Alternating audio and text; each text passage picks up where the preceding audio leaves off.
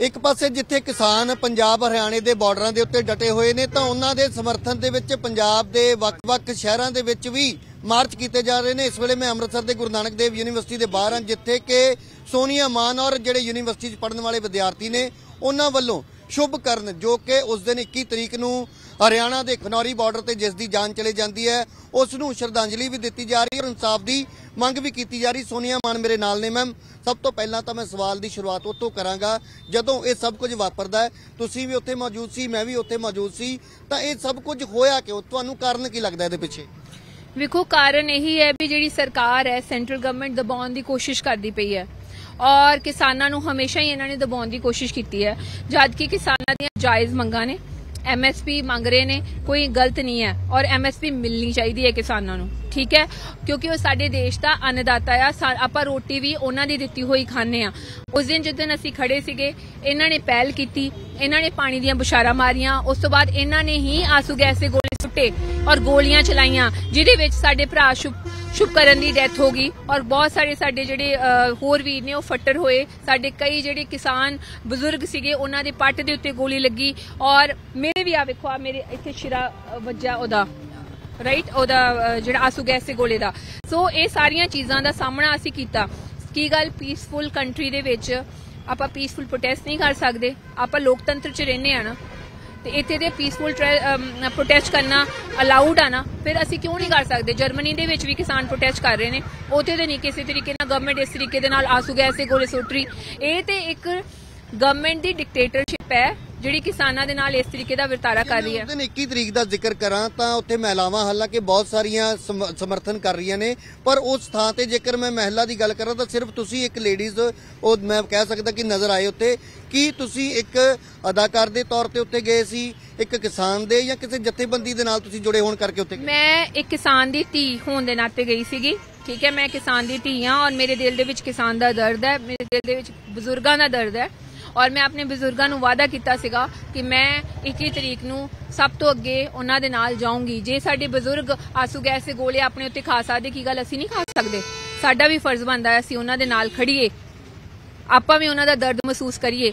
ਇਸੇ ਕਰਕੇ ਅੱਜ ਮੈਂ ਯੂਨੀਵਰਸਿਟੀ ਦੇ ਵਿੱਚ ਆਈ ਸੀ ਕਿ ਸਟੂਡੈਂਟਸ ਨੂੰ ਦੱਸਣ ਵਾਸਤੇ ਵੀ ਅਸੀਂ ਇੱਥੇ ਬੈਠੇ ਆ ਪਰ ਸਾਡੀ ਜਿਹੜੀ ਜਨਰੇਸ਼ਨ ਹੈ ਲਾਸਟ ਜਨਰੇਸ਼ਨ ਹੈ ਬਜ਼ੁਰਗਾਂ ਦੀ ਜਿਹੜੀ ਟਰਾਲੀਆਂ ਦੇ ਵਿੱਚ ਬੈਠੀ ਹੈ, ਸਾਡੇ ਕਰਕੇ ਇੰਨੀਆਂ ਜ਼ਹਿਰੀਲੀਆਂ ਗੈਸਾਂ ਦਾ ਸਾਹਮਣਾ ਕਰ ਰਹੀ ਹੈ। ਸਾਨੂੰ ਵੀ ਉੱਥੇ ਜਾਣ ਦੀ ਲੋੜ ਹੈ ਕਿ ਇਹਨੂੰ ਸ਼ੁਭ ਕਰਨ ਨੂੰ ਕਿਹਨੂੰ ਕਹਿੰਦੇ ਆ, ਇਹਨੂੰ ਕੋਈ ਲੋੜ ਸੀ ਕਿ ਗੋਲੀ ਖਾਣ ਦੀ? ਇਹ ਅੱਗੇ ਖੜਾ ਸੀਗਾ ਉਦਣ ਕਿ ਇਹਦੀ ਜਗ੍ਹਾ ਤੇ ਮੈਨੂੰ ਵੀ ਗੋਲੀ ਵੱਜ ਸਕਦੀ ਸੀ ਕਿ ਮੈਨੂੰ ਲੋੜ ਹੈ ਗੋਲੀ ਖਾਣ ਦੀ? ਅਸੀਂ ਵੀ ਆਪੋ ਆਪਣੇ ਘਰੇ ਬਹਿ ਜਾਂਦੇ। ਆਪਾਂ ਨੂੰ ਸਵਾਰਥੀ ਹੋਣ ਦੀ ਲੋੜ ਨਹੀਂ ਹੈ। ਆਪਾਂ ਨੂੰ ਸਾਰਿਆਂ ਨੂੰ ਆਪਣੇ ਅੰਨਦਾਤਾ, ਆਪਣੇ ਫਾਰਮਰਸ ਦੀ ਸਪੋਰਟ ਕਰਨ ਦੀ ਲੋੜ ਹੈ। ਸਮੁੱਚੀ ਪੰਜਾਬੀਅਤ ਨੂੰ ਇਸ ਟਾਈਮ ਦੇ ਉੱਤੇ ਇਕਜੁੱਟ ਹੋ ਕੇ ਸੈਂਟਰ ਦੇ ਖਿਲਾਫ ਲੜਨ ਦੀ ਲੋੜ ਹੈ, ਤਾਂ ਕਿ ਸੈਂਟਰ ਪੱਖੀ ਲੜਾਈ ਲੜੀ ਜਾਵੇ।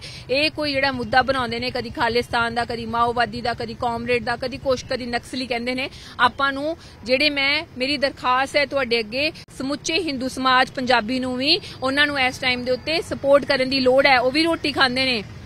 ਅੰਨਦਾਤਾ ਦੀ ਉਹਨਾਂ ਨੂੰ ਵੀ ਸਪੋਰਟ ਕਰਨ ਦੀ ਸਵਾਲ ਤੇ ਆ ਰਿਹਾ ਜਦੋਂ ਸਿੰਘੂ ਦੇ ਵਿੱਚ ਮੋਰਚਾ ਲੱਗਾ ਸੀ ਤਾਂ ਚਾਹੇ ਕੋਈ ਵਪਾਰੀ ਹੈ ਚਾਹੇ ਕਿਸੇ ਵੀ ਜਾਤ ਧਰਮ ਵਰਗ ਦੇ ਨਾਲ ਉਹ ਲੋਕ ਆਪ ਮੁਹਾਰੇ ਸੜਕਾਂ ਤੇ ਆਏ ਸੀ। ਪਰ ਇਸ ਵੇਲੇ ਕਿਤੇ ਨਾ ਕਿਤੇ ਜਥੇਬੰਦੀਆਂ ਦੇ ਵਿੱਚ ਵੀ ਥੋੜੀ ਦੂਰੀ ਨਜ਼ਰ ਆ ਰਹੀ ਹੈ। ਉਹ ਚੀਜ਼ ਨੂੰ ਮੁੱਦਾ ਇੱਕ ਹੈ। ਮੁੱਦਾ ਉਹ ਜਥੇਬੰਦੀਆਂ ਦਾ ਵੀ ਇੱਕ ਹੈ, ਇਹਨਾਂ ਦਾ ਵੀ ਇੱਕ ਹੈ।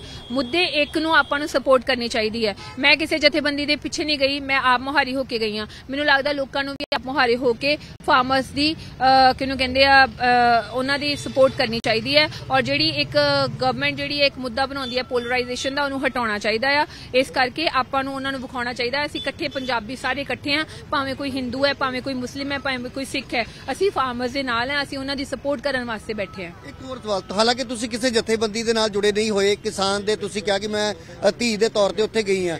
ਪਰ ਇੱਕ ਸਭ ਤੋਂ ਵੱਡੀ ਤਾਕਤ ਜਮਹੂਰੀਅਤ ਦੇ ਵਿੱਚ ਸਾਡੇ ਕੋਲ ਵੋਟ ਦੀ ਤਾਕਤ ਹੁੰਦੀ ਹੈ। ਕੀ ਅਸੀਂ ਲੋਕ ਵੋਟ ਦੇ ਨਾਲ ਉਸ ਸਰਕਾਰ ਨੂੰ ਨਹੀਂ ਹਰਾ ਸਕਦੇ ਜਿਹਦੇ ਤੋਂ ਸਾਨੂੰ ਕੋਈ ਨਾਰਾਜ਼ਗੀ ਆ ਜਾਂ ਲੱਗਦਾ ਕਿ ਉਹ ਸਾਡੇ ਨਾਲ ਧੱਕਾ ਕਰ ਇਸੇ ਕਰਕੇ ਮੈਂ ਤੁਹਾਡੇ ਚੈਨਲ ਦੇ ਮਾਧਿਅਮ ਨਾਲ ਕਹੂੰਗੀ ਕਿ ਐਰ ਕੀ ਮੈਂ ਯੂਨੀਵਰਸਿਟੀ ਦੇ ਵਿੱਚ ਵੀ ਸਾਰਿਆਂ ਨੂੰ ਕਿਹਾ ਹੈ ਕਿ ਤੁਸੀਂ ਈਵੀਐਮ ਬਾਈਕਾਟ ਦਾ ਨਾਰਾ ਲਾਓ, ਬੈਲਟ ਪੇਪਰ ਤੇ ਵੋਟ ਪਾਓ ਤਾਂ ਕਿ ਜਿਹੜਾ ਵੀ ਜੋ ਇਹਨਾਂ ਨੇ ਮਸ਼ੀਨਾਂ 'ਚ ਵੀ ਘਪਲਾ ਕੀਤਾ ਹੋਊਗਾ, ਉਹ ਵੀ ਹਟ ਜੇ ਤਾਂ ਕਿ ਸਰਕਾਰ ਬਦਲੇ। ਲੋਕਤੰਤਰ ਦੇ ਵਿੱਚ ਹਮੇਸ਼ਾ ਕਦੀ ਦੂਜੀ ਸਰਕਾਰ ਹੋਣੀ ਚਾਹੀਦੀ ਹੈ, ਹਮੇਸ਼ਾ ਸਰਕਾਰਾਂ ਬਦਲਦੀਆਂ ਰਹਿਣੀਆਂ ਚਾਹੀਦੀਆਂ ਤਾਂ ਕਿ ਜਿਹੜਾ ਆਪਣਾ ਸਿਸਟਮ ਹੈ ਨਾ, ਉਹ ਠੀਕ ਰਹਿੰਦਾ ਹੈ। ਹਰ ਇੱਕ ਬੰਦੇ ਨੂੰ ਡਰ ਰਹਿੰਦਾ ਹੈ ਕਿ ਅਸੀਂ ਸਹੀ ਕੰਮ ਕਰਨਾ। ਪਰ ਨੌਜਵਾਨਾਂ ਨੂੰ ਤੁਸੀਂ ਕਿਹਾ ਕਿ ਵੋਟ ਦੇਣ ਦੀ ਗੱਲ ਕਹੀ ਹੈ ਪਰ ਨੌਜਵਾਨਾਂ ਨੂੰ ਸਿਆਸਤ ਦੇ ਵਿੱਚ ਨਹੀਂ ਆਉਣਾ ਚਾਹੀਦਾ ਖੁਦ ਆ ਕੇ ਚਾਹੇ ਉਹ ਇੱਕ ਨਵੀਂ ਪਾਰਟੀ ਬਣਾਉਣੀ। ਆਉਣਾ ਚਾਹੀਦਾ ਹੈ। ਮੈਂ ਕਹਿੰਨੀ ਅੱਜ ਕੱਲ ਦੀ ਨੌਜਵਾਨ ਪੀੜ੍ਹੀ ਨੂੰ ਪੜ੍ਹੀ ਲਿਖੀ ਨੂੰ ਅੱਗੇ ਆਉਣਾ ਚਾਹੀਦਾ ਇਨਫੈਕਟ ਸਰਪੰਚੀ ਦੀ ਇਲੈਕਸ਼ਨ ਵਾਸਤੇ ਵੀ ਅੱਗੇ ਆਉਣਾ ਚਾਹੀਦਾ ਹੈ ਔਰ ਪਿੰਡ ਦਾ ਸਰਪੰਚ ਬਣਨਾ ਚਾਹੀਦਾ ਹੈ ਨਾ ਕਿ ਕਿਸੇ ਰਾਜਨੀਤਿਕ ਦਲ ਦਾ।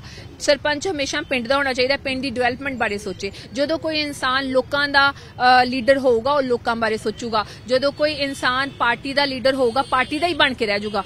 ਹਾਂ, ਹੋਊਗਾ ਤੇ ਕਿਸੇ ਪਾਰਟੀ ਦਾ, ਪਰ ਪਾਰਟੀ ਨਾਲੋਂ ਜ਼ਿਆਦਾ ਆਪਣੇ ਲੋਕਾਂ ਦੀ ਸੋਚੂਗਾ ਨਾ, ਤਾਂ ਦੀ ਉਹ ਲੋਕਾਂ ਦੇ ਬਾਰੇ ਸੋਚ ਸਕੂਗਾ। ਆਖਰੀ ਸਵਾਲ, ਪਿਛਲੀਆਂ ਜਦੋਂ ਵਿਧਾਨ ਸਭਾ ਚੋਣਾਂ ਸੀ, ਉਸ ਵੇਲੇ ਕਿਸਾਨ ਅੰਦੋਲਨ ਵੀ ਸੀ, ਔਰ ਉਦੋਂ ਵੀ ਤੁਹਾਡੇ ਨਾਮ ਨੂੰ ਲੈ ਕੇ ਬੜੀਆਂ ਚਰਚਾਵਾਂ ਹੋਈਆਂ ਕਿ ਸੋਨੀਆ ਮਾਨ ਕਿਸੇ ਰਾਜਨੀਤਿਕ ਪਾਰਟੀ 'ਚ ਜਾ ਸਕਦੀ ਹੈ।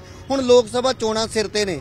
ਜੇਕਰ ਤੁਹਾਨੂੰ ਲੱਗਦਾ ਕੋਈ ਪਾਰਟੀ ਕਿਸਾਨ ਪੱਖੀ ਗੱਲ ਕਰਦੀ ਹੈ, ਤੁਹਾਨੂੰ ਜੇਕਰ ਮੌਕਾ ਮਿਲਦਾ, ਤੁਸੀਂ ਸਿਆਸਤ 'ਚ ਆ ਸਕਦੇ ਵੇਖੋ, ਇਹਦੇ ਬਾਰੇ ਹਜੇ ਮੈਂ ਸੋਚਿਆ ਨਹੀਂ ਕੁਝ ਵੀ। ਇਹਦੇ ਪਿੰਡ ਦੇ ਵਿੱਚ ਕੋਈ ਕੰਮ ਕਰਾਉਣਾ ਸ਼ੁਰੂ ਕਰ ਦੇਣਾ ਨਾਲੀਆਂ ਦਾ ਤੇ ਸੜਕਾਂ ਦਾ ਤੇ ਕਹਿਣਾ ਸ਼ੁਰੂ ਕਰ ਦਿੰਦੇ ਵੀ ਇਹਨੇ ਸਰਪੰਚੀ ਲੜਨੀ ਆ। ਇੱਥੇ ਤੇ ਬੰਦਾ ਕੋਈ ਆਵਾਜ਼ ਹੀ ਨਾ ਚੁੱਕੇ ਲੋਕਾਂ ਵਾਸਤੇ। ਜਿਹੜਾ ਵੀ ਕੋਈ ਬੰਦਾ ਬਾਤ ਚੁੱਕਣ ਦੀ ਕੋਸ਼ਿਸ਼ ਕਰਦਾ, ਉਹਨੂੰ ਕਹਿੰਦੇ ਇਹਨੇ ਇਲੈਕਸ਼ਨ ਚ ਆਉਣਾ। ਕੀ ਗੱਲ? ਇਲੈਕਸ਼ਨ ਹੋਣੀ ਮਾੜੀ ਗੱਲ ਹੈ। ਪੋਲਿਟਿਕਸ ਚ ਆਉਣਾ ਮਾੜੀ ਗੱਲ ਹੈ। ਤੁਸੀਂ ਆਪੇ ਕਿਹਾ ਚੰਗੇ ਲੋਕਾਂ ਨੂੰ ਆਉਣਾ ਚਾਹੀਦਾ ਹੈ, ਚੰਗੇ ਯੂਥ ਨੂੰ ਆਉਣਾ ਚਾਹੀਦਾ ਹੈ। ਤੇ ਇਹ ਚ ਕੋਈ ਮਾੜੀ ਗੱਲ ਤੇ ਨਹੀਂ ਹੈ। ਜਦੋਂ ਮੌਕਾ ਮਿਲੂਗਾ, ਉਦੋਂ ਦੇਖ ਲਾਂਗੇ। ਥੈਂਕ ਯੂ ਤਾਂ ਇਹਨੇ ਸੋਨੀਆ ਮਾਨ, ਜਿਨ੍ਹਾਂ ਨੇ ਕਿਸਾਨ ਅੰਦੋਲਨ ਦੇ ਦੌਰਾਨ ਜਿਹੜੀ ਆਪਣੀ ਭੂਮਿਕਾ ਨਿਭਾਈ, ਉਸ ਬਾਰੇ ਵੀ ਜ਼ਿਕਰ ਕੀਤਾ ਔਰ ਨਾਲ ਦੀ ਨਾਲ ਉਹਨਾਂ ਦਾ ਕਹਿਣਾ ਹੈ ਕਿ ਨੌਜਵਾਨਾਂ ਨੂੰ ਜੋ ਹੈ, ਉਹ ਸਿਆਸਤ ਦੇ ਵਿੱਚ ਵੀ ਅੱਗੇ ਆਉਣ ਦੀ ਲੋੜ ਹੈ, ਕਿਉਂਕਿ ਜੇਕਰ ਉਹਨਾਂ ਨੂੰ ਕਿਸੇ ਸਿਆਸਤਦਾਨ ਤੋਂ ਕੋਈ ਨਾਰਾਜ਼ਗੀ ਹੈ ਜਾਂ ਜਿਸ ਸਰਕਾਰ ਦੇ ਉੱਤੋਂ ਕੋਈ ਇਸ ਗੱਲ ਨੂੰ ਲੈ ਕੇ ਨਾਰਾਜ਼ਗੀ ਹੈ ਕਿ ਉਹਨਾਂ ਦੇ ਹੱਕਾਂ ਦੀ ਗੱਲ ਨਹੀਂ ਕੀਤੀ ਜਾਂਦੀ, ਤਾਂ ਨੌਜਵਾਨ ਨੂੰ ਅੱਗੇ ਆ ਕੇ ਸਿਆਸਤ ਦੇ ਵਿੱਚ ਵੀ ਮੋਰੀ ਹੋ ਕੇ ਆਪਣੇ ਜਿਹੜੇ ਲੋਕਾਂ ਦੀ, ਆਪਣੇ ਕਿਸਾਨਾਂ ਦੀ ਗੱਲ ਜਿਹੜੀ ਹੈ, ਉਹ ਅੱਗੇ ਰੱਖਣ ਦੇ ਲਈ